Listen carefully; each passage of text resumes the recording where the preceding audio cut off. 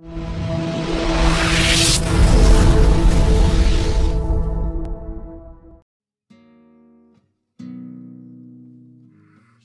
two, come on. Your guests are wondering where you are. Married a decade? Who does that? Screw 10 years. I'm going for 43. Please. Barry, pull it back. I'm proposing.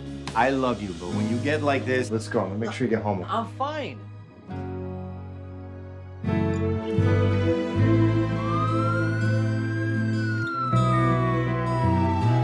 When Max met you, He said, Dad, I met her. I found a girl. I told him, I thought you said all girls are crazy. He said, Well, I'm going to make this one crazy about me.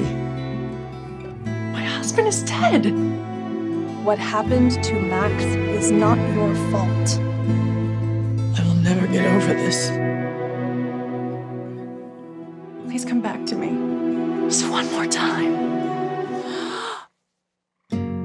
hi, Oh my god. you can see me. Is it really you? Are you stuck here? I think I'm supposed to help you. I'm not strong like you. Yes, you are. We should have spent more time together. I have all the time in the world now.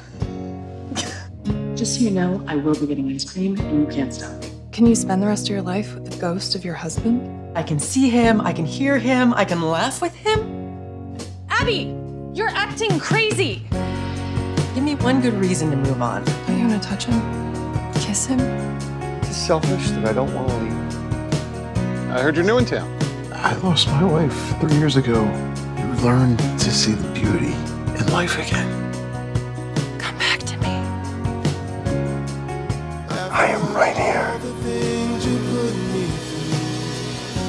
I don't know what to do. I still love